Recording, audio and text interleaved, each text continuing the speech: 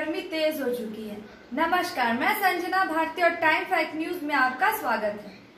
हर party के प्रत्याशी चुनाव मैदान में कूद पड़े हैं। अपनी जीत को सुनिश्चित करने के लिए क्षेत्र में दौरा तेज कर दिया गया है।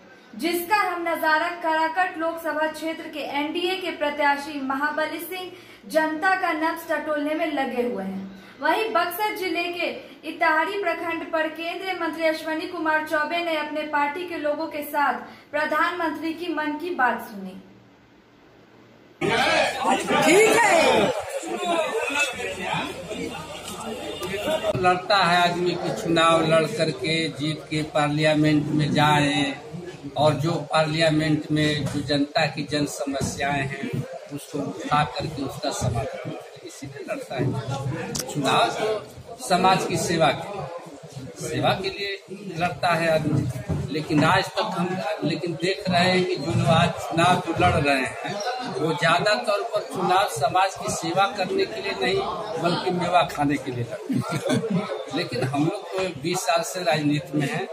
हम लोग कभी भी मेवा के चक्कर में नहीं रहा। हम लोग समाज की सेवा करते रहे। चाचा बार विधायक रहे, एक बार मंत्री रहे, एक बार सांसद रहे।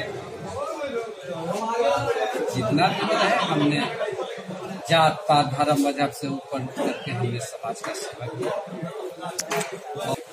जनता की, जो क्षेत्र की जनता की समस्याएँ हैं, उसको पार्लियामेंट के अंदर उठाएँगे।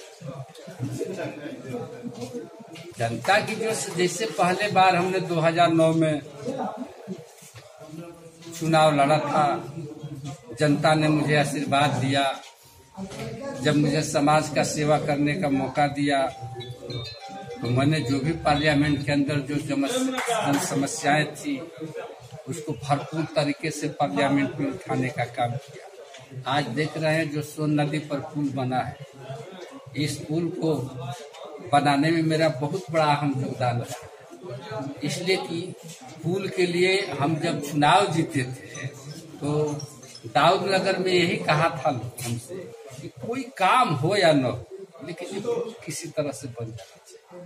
ये तो बहुत बड़ा काम था। हमने कहा कि देखिए, ये तो बहुत बड़ा काम है, लेकिन हम इसके लिए प्रयास जी जान से करेंगे और मैंने प्रयास किया इस मामला को चार चार बार पार्लियामेंट के अंदर उठाया।